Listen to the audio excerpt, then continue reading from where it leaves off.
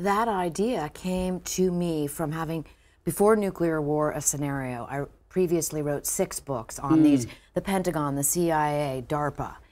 Um, and, you know, a hundred plus sources in each book.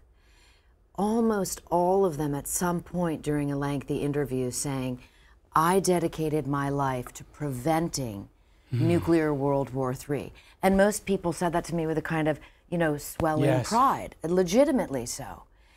And so during the previous administration, when President Trump was talking about fire and fury, all that nuclear war rhetoric, I got to thinking about what all those sources had told me, and I thought, hmm. what happens if deterrence fails, if prevention fails?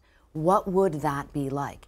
And what I learned didn't just shock me, it shocked me again and again and again right. and again. And that's what I put in the book. I put what I learned right. from top tier, upper echelon national security people who opened the door into this world so that I could really see what happens.